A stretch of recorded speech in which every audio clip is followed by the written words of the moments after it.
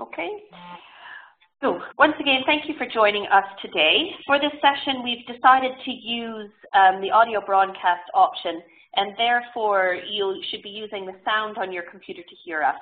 I know some people have asked if, if they could join a teleconference, so that means that they've dialed in using their phones, which is fine.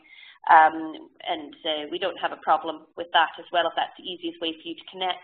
Uh, but we just found that we were ending up spending so much of our webinar time trying to get people connected to the call that the easiest way was just to broadcast.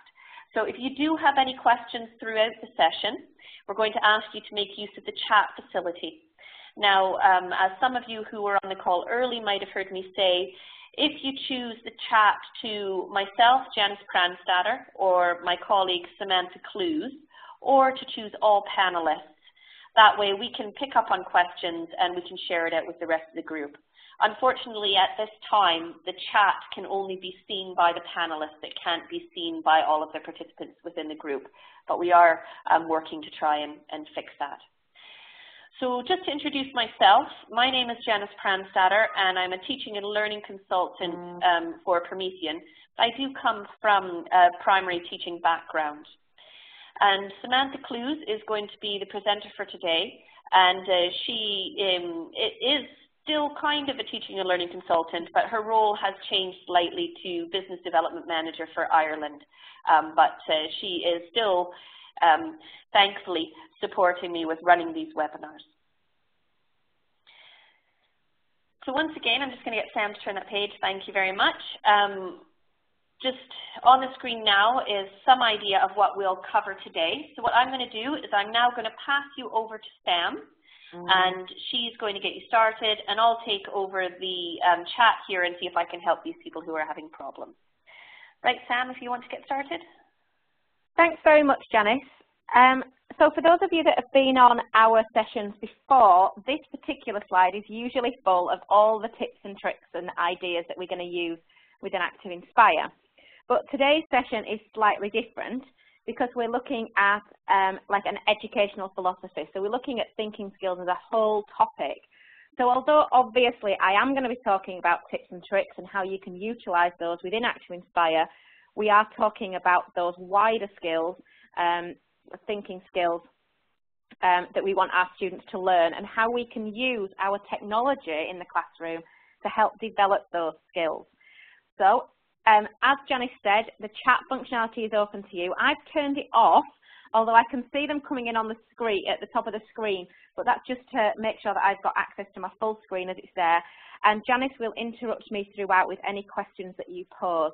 So please do um, do participate, do use the chat. It makes these sessions run a lot, uh, a lot more exciting for us at least, and we know that you're all there listening. So I'm going to start today's session just by um, giving everyone an overview of what thinking skills are.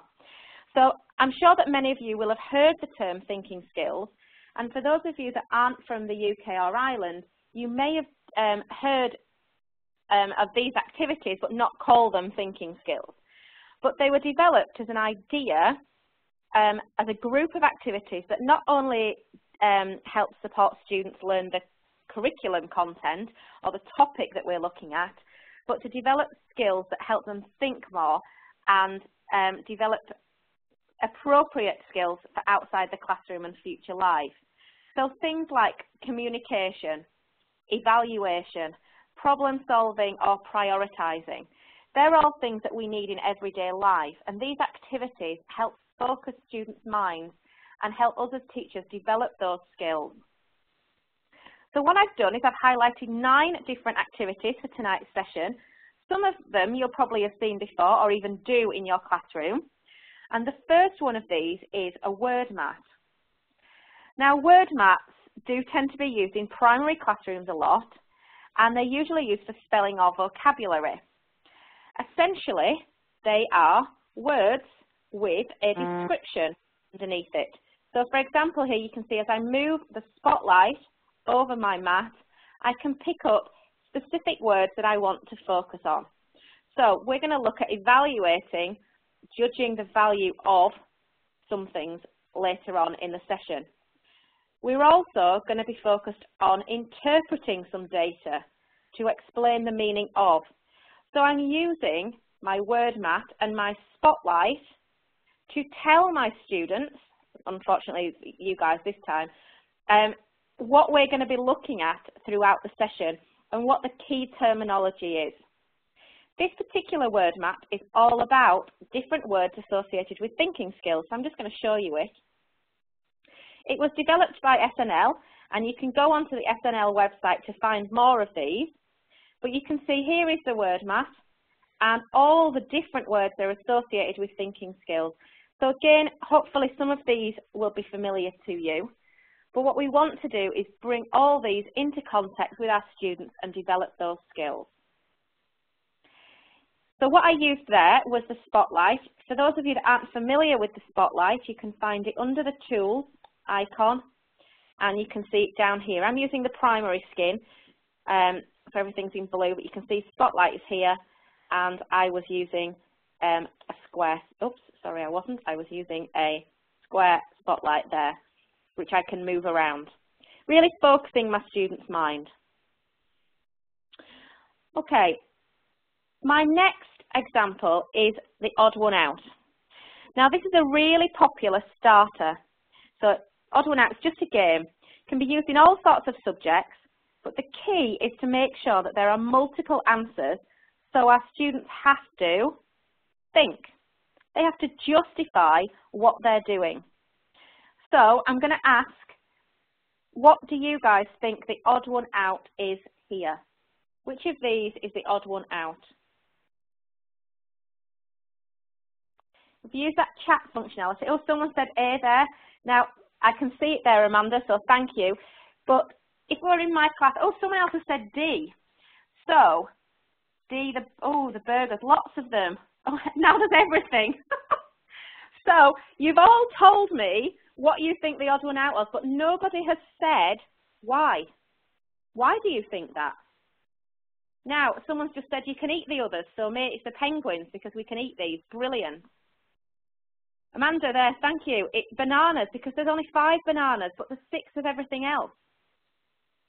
No, maybe it's it's um, the burgers because they don't grow. You know, we grow all these. The the penguins grow. Burgers are cooked. Well done. Different things. We could eat the penguins. I'm getting a conversation going. I can see all this chat coming in now. I'm getting you to think about your answer not just tell me what it is. So I'm going to bring another one in. We don't have to do this one, guys, but if you want to, feel free. What could be the odd one out here? Notice that I've changed the medium that my students are looking at. So, not a double digit, not a prime number, great. We're not looking at images anymore, we're now looking at numbers. So this is a, a really popular uh, starter for teachers. And if you search on Promethean Planet, um, just type in odd one out into the search bar, you'll actually find 11 different examples of whole flip charts made of these, uh, one of which was actually made by Janice, our presenter today. And I've actually put um, a link here just to show you. This is a maths example. Um, but here you can see where I got some of the examples from. But we start to use different mediums. So we're not just looking at numbers, Let's see which is the odd one out here. So we've got four, we've got eight, eight, eight. So maybe it's this one, but this one's double fours. It's interesting to see what your students pick up on. Which is odd one out? This one's green, this one has less uh, fluid into it. We can start to analyse what our students pick up. It's a really nice way to get a communication going with your students. So odd one out hopefully some of you will have seen that, that idea before. You might not know it as a thinking skill, but it is. We're getting our students to think about what their answers are. So the, the things that I've used on this page are to set things off the page. So hopefully, um, some of you will have discovered how to do this already. But you can set any image, shape, or um, text off the page so your students can't see it until you're ready and you're able to drag that in. I also used a link here. So you can link to anything, including other flip charts, by going to Insert and link to that file. So as long as you have that file downloaded, you can link to it.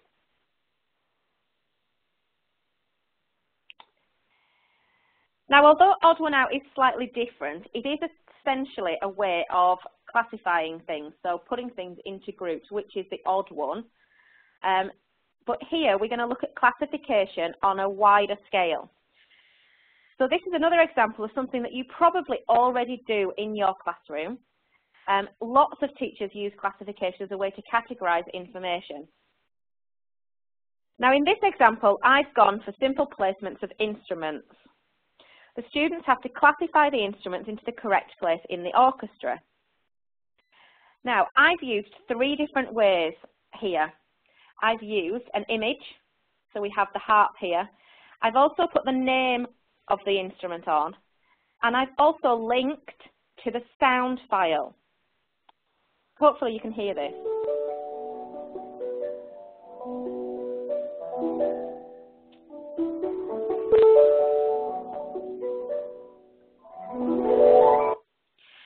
Now, if I was going to do this with my students, I wouldn't want to make it so easy. I would either use an image and the sound, or maybe the text and the sound, or just the sound itself. So a, a mixture of them. I wouldn't necessarily use all three, but I wanted to highlight in this session that you can um, have, add the sound in and that you can use pictures or text. So the idea is that my students would come up, play the sound and decide where the instruments would go.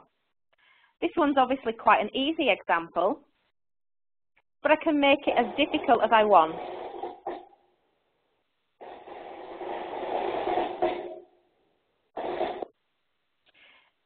We'll put that over in percussion. What's important for the thinking part of this exercise is for students to understand why they're placing the item in that category.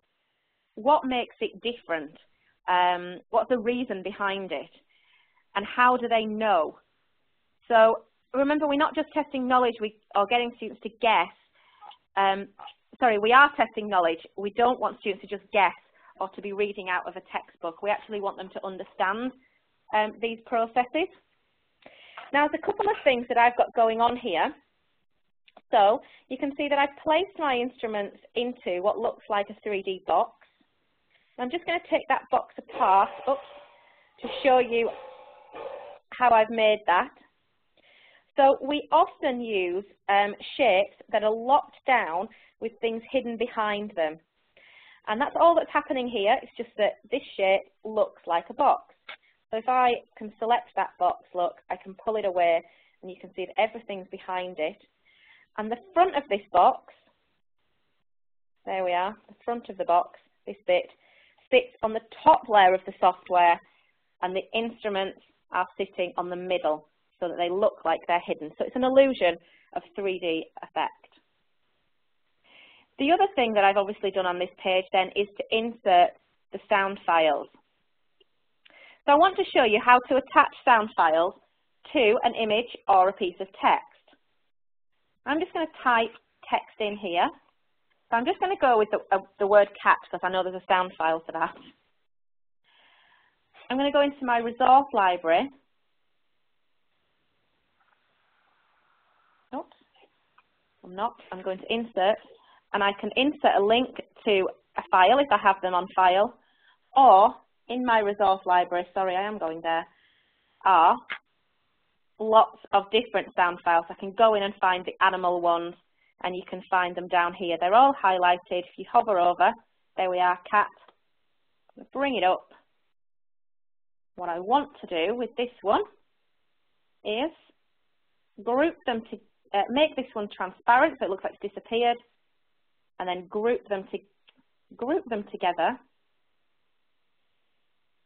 Bear with me, catching everything.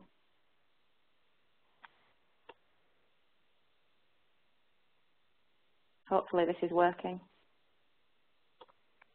Nope. There we go. And you can hear the cat. So lots of different things going on on the page. Janice, is there any questions at this stage before I go on to the next? No, I think we're okay. There are some people who are having um, problems with sound, saying that your sound seems to be cutting out every once in a while. I'm not having that problem myself, um, so I'm not sure what to advise, but hopefully it'll all be coming through in the recording okay. Okay, brilliant. Sorry guys, we will keep going. So my next example, so number four of our nine, is a Venn diagram. Now I'm sure at some point everyone will have tried a Venn diagram, and it's actually one of my favourite activities. The reason I like it so much is that it can be relevant for any subject, so maths, English, geography, in this case I've used language, but in addition, you can also differentiate to suit your class's needs by either adding an extra circle, so I've used three, or by making the statements or objects or text um, more challenging for our students, so we can differentiate quite easily. In this example, I've used images and words um, from an English as a second language lesson. So the students have to place the animals into either the ocean, the jungle, or the farm. And these are all Spanish words. I haven't used any English words on the page apart from um, our title here, nothing for the activity. And I'm getting our students to decide they want to, which, where things live. So we can pick up our octopus here and place it in the jungle. Now notice that I've grouped the Spanish word for octopus with the image, but it doesn't appear on our white background. It only appears once we've put it in. Because not only do am I testing their knowledge of the animals, I'm going to test their knowledge of the language as well. So I want them to tell me the right word, the correct word for the animal before they place it in. And we're giving some instant feedback. So we're letting them know that they've got it right. Now, there are obviously some that could live in a couple. Could it live all, could it live in the jungle, the ocean and the farm? Well, a fish technically could, depends on the type of the fish, so we could put it in there. And you can see that we've got both of the things there.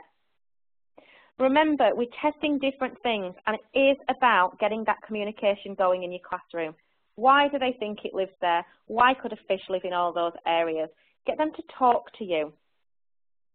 So I just saw that Janice asked you the question there. because She knew this was coming up. But have any of you um, used Venn diagrams before? I can see there, some people, they love them. They're great to get learners thinking because often things don't stick into one category. So Venn diagrams become really useful. While you're all chatting in, I'm just going to quickly go to my resource library and type in Venn diagram, see it was there, and let my resource library run a search. There are already some fantastic templates built into your software. And Venn diagrams are one of the templates that you can find.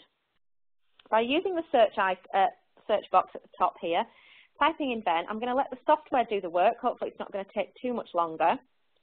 And the templates for Venn diagrams will come up at the bottom. And all I need to do then is pick the most appropriate one for my lesson. There you go. You can pick the most appropriate one for my lesson and edit the text boxes appropriate to you. So you don't have to build everything from scratch. There are blank ones, as you can see here, or there are ones that are slightly more complicated. If I bring this in, for example, there you go. All I need to do, double click my title and change it to my particular lesson.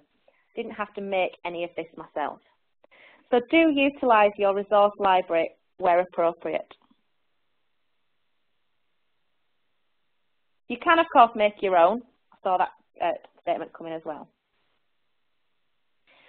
Okay, moving on then. This example is a twist on the classic game of dominoes.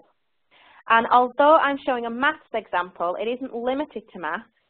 I have used this in my history lessons um, to match dates and events from World War II.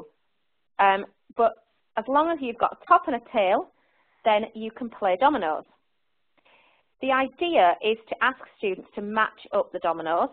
Now here I'm using fractions and images on a grid. The students may have similar or the same cards even on their desks. and what we're asking them to do is come up to the board and place them on this outside track and then find the matching. So I'm looking for one third here. So I've got to find something, well this looks like one third, break it down, so one third is in red, those two thirds are in white, so then I've got two thirds here, and I can keep going. Now, the key to this, and as we're talking about thinking skills, is that when you're creating your dominoes, you need to think about mixing up the images or symbols that your students are matching. So this activity just isn't about matching fractions with a number, but we're checking understanding as we're going through. So can they understand what two-thirds means as um, a grid, as a diagram? Now, if you'd like to try this activity, but you don't want to have to build all these templates, remember that you can always visit prometheanplanet.com, and again, there are lots of pre-written material. This particular one was actually written by a former colleague of ours um, called Chris Stone. There are lots of maths ones, um, but you can find examples for other types of domino activities as well.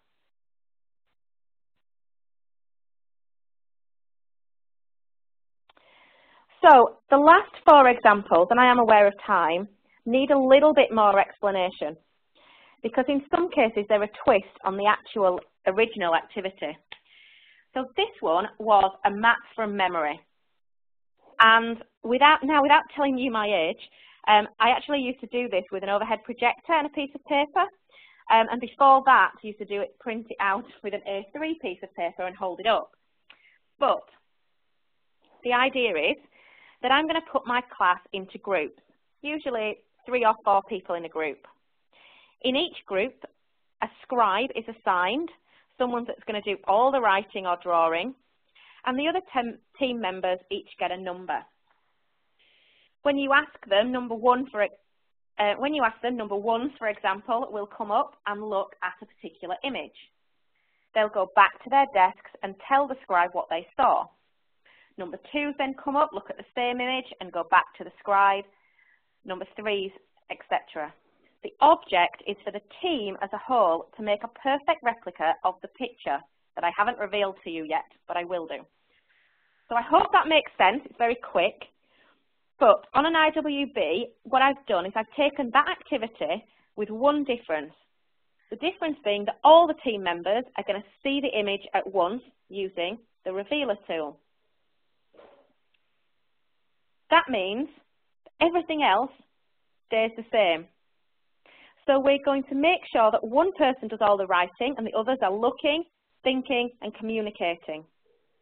But we're getting them to work together. So we're going to look at this image for 10 seconds.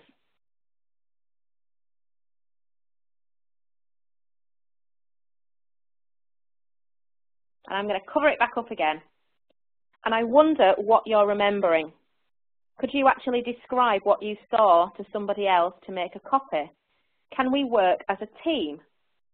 So it may be that every minute I reveal it again, let them have a next little bit of time to look at it.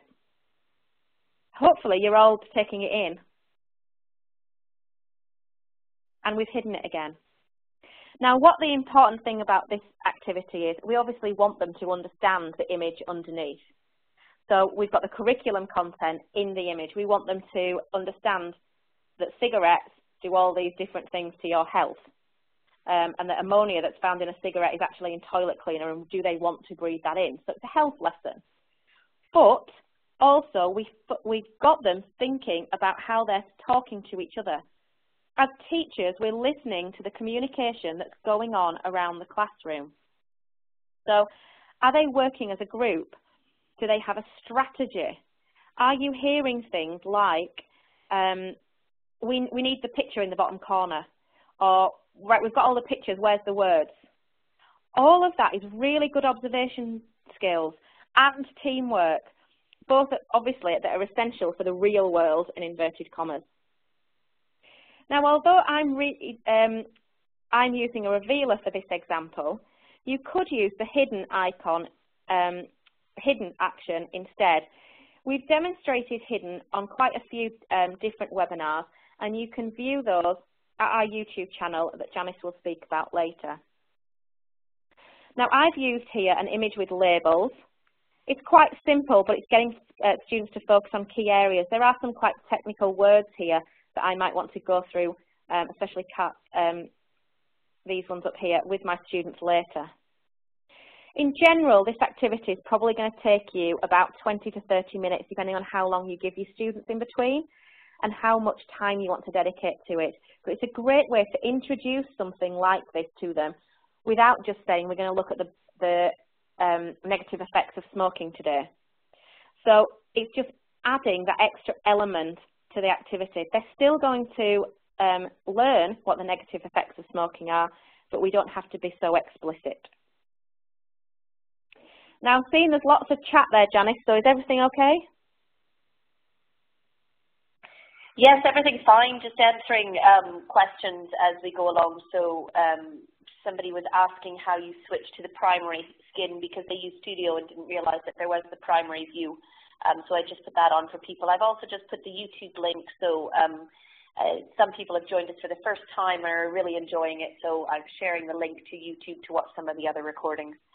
Um, Patty gave a good idea, good idea for the last page as well. So she was saying, you know, you could use transparency to just reveal some of it at the time. So some people just commenting on uh, further ideas for what you're doing as well.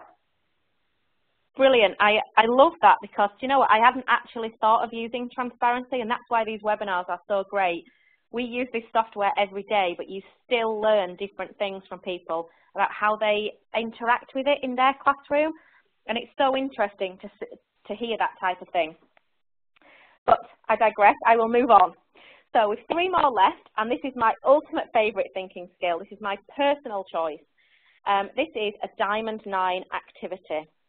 As you can see, we have nine blank cards set out in a diamond. So we have one at the top, which I've labelled the most important, two, three in the middle, another two, and then the bottom, the least important. And um, a Diamond 9 activity is exactly that. We have nine cards underneath that we are going to place in our diamond. The challenge with this activity is that there is no right answer. There is no wrong answer. Students have to think and justify their choices. So we're looking at what is needed for a healthy lifestyle. So it may be that the students have all these cards on their desks and they're going to put them in their diagram first. Um, and then you're going to come to the board. But we're just going to do this here now. So I'm going to say that right now, eating five portions of fruit and veg a day is the most important thing you can do for a healthy lifestyle. I'm going to put this down here. Now, if you disagree with me, please let me know or let Janice know.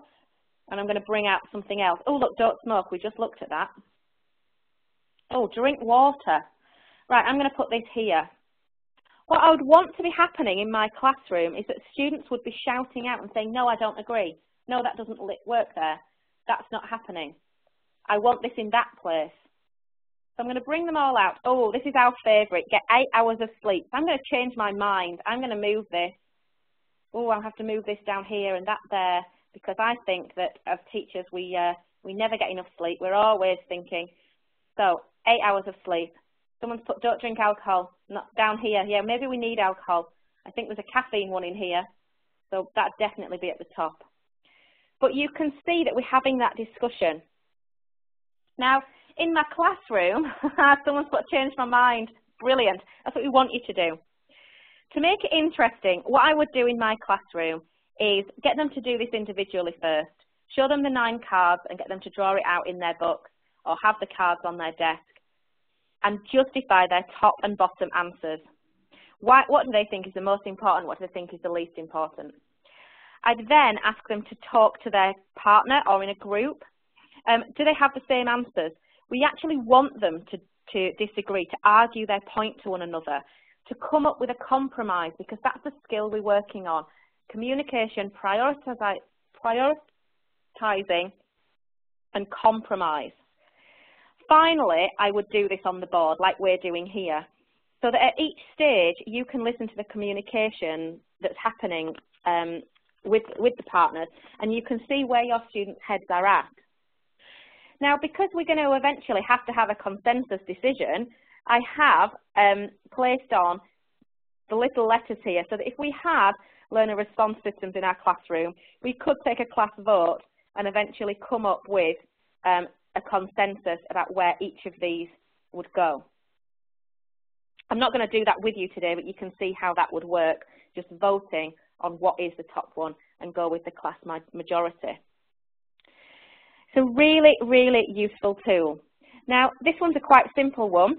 We've done one previously for why um, Hitler blitzed Britain. You may have seen that in a previous webinar. Um, it's also a really good technique for thinking about how you would structure essays if you are a secondary teacher or you're wanting an extended piece of writing. Because if they're answering this question and writing it out, we want to spend the most time on this, next paragraph on these two, then here, then here, and the least time on there. So it really helps you structure your thoughts when there is no right or wrong answer. So we're justifying all the way down. Someone just said, has the sound gone? Hopefully you can all hear me.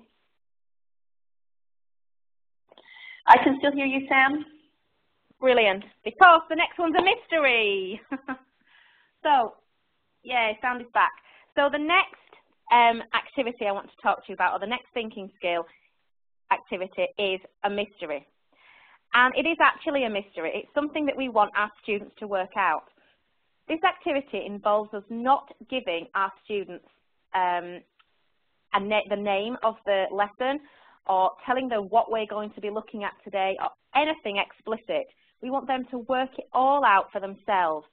All we're going to do is give them a set of statements that around a question.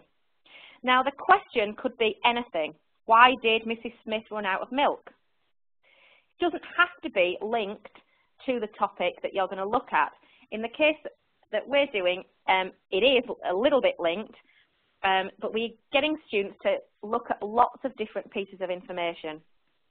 Anyway, I'm digressing a, uh, a little bit. This takes up a whole section.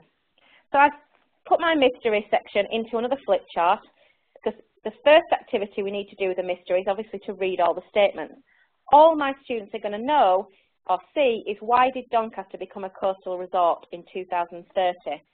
Now, for those of you that aren't from the UK, um, Doncaster is not near the coast um, currently, so why might it be a coastal resort in 2013 should get our heads scratching and some brain cells working. Inside the box, I've hidden 30 different statements all relate to this question. What I want our students to do is firstly to read all those statements. So we drag them out and we would read them. So Doncaster is just off the M18 motorway. Doesn't really help me answer the question. It will have some relevance. Since 1930, the average world temperature has increased by 0.2 degrees. Well, that's got me thinking I might understand what we're looking at then in this lesson. Most electricity is generated by power stations and fossil fuels. I'm getting the sense this is a geography lesson and that we're to, we might be looking at global warming or coastal erosion, but I would have to continue to read. So I'd be pulling these out and looking at the statements. So remember, I'm not telling my students any further information. I want them to work all of this out for themselves. Once they've read the statements, want to have a quick discussion. Do they, can they um, tell me why they think Doncaster might be a coastal resort? And then the next activity is to categorise all those statements. Now, like I said, this is a geography lesson, so I've put some categories down here. But I can bring them up and decide, is this social, environmental, economic, political, relevant or not, or is it just background? And I'm going to colour code them. So I'm going to use the fill tool, and I'm going to say that this was family, so it's black, so I don't need to fill that one, so that was poor choice to start with. Let's find another one. It is predicted that global warming will make the UK wetter. Okay, well that might be, I think that's background to what we're looking at, so I'll go with pink and start colour coding. Oops, to do the whole thing. The idea here is we're getting our students not just to read the statements, which doesn't take that much thought, but to actually start to prioritise, categorise them, and think about what it is that they're learning. Now this is a really big life skill. If you think about all the information we get in a, on a daily basis, if we didn't put it into little categories or prioritize it in our heads, we actually wouldn't be able to take it all in. If you know, if the adverts on TV got the same amount of um, same amount of priority um, to us as the, the postman at the door and the news the news that's on the TV, we, we actually, actually go into overload. So it's a really good way of getting students to prioritise. It's also great, again, to hear how they're thinking and how they're going about their tasks. Once we've categorised the information, we should be in a better place now to actually start to answer the, um, the question. And you can start to tease the question and the answer out of them. Don't get them to just give you one-word answers. So why is the 2030 appropriate in this example? Or how will it affect the people? How can we stop it? So we're really getting down to the nitty-gritty now and we're having a conversation. And then finally, when they've worked out the answer, they've read it all and they've understood the concept, we're going to get them to write it up in a detailed answer. Now I've used a writing frame here just to add some scaffolding for students to work with, um, but it could be that in your class you prefer to do a podcast or um, a blog about it. It doesn't matter how we get our students to um, formally write their answer, as long as we're doing that and we're documenting it. But you can see I've used key sentences here to stop my students from only picking out um, little bits of information. So Doncaster in, and to take about the geography, where is it? Could be a coastal resort in because it will only happen if. What will the effects be and how could it be stopped? I've also added down here their personal opinion so that a chance for them to talk about it if they want. Now that was quite a lengthy um, one and it's also quite complicated. Janice, is there any questions that people want me to answer on mysteries? No, I think that we're okay. Okay. Well, in that case, I'm going to go on to my final example, which is not there, no, because it's here, which is a living graph. Now, don't worry, nothing's going to come shooting out of your screens or sprout wings, but the graph is going to come alive in a contextual sense. So living graphs are useful when you're looking at interpreting data um, because what we're going to do is give contextual um, statements and place them on the graph. So I've got a graph here of rainfall and temperature. And typically, I may have asked my students to look at the graph and tell me how much rainfall there was in August. And they would have looked along and said, okay, there is going to be 170 blah, blah, blah millimetres of rainfall. When, or asked a question, when is the wet season? And they've told me it is begins in May and ends in October. But that information, although valid, has no real relevance to them and also really they can't see how it affects their lives. So by adding conceptual statements like this one, okay, and making sure that the students can not only analyse the information, but think about what it means to real people, real life, and ultimately what this learning, uh, to make sure that what they're learning has relevance to them.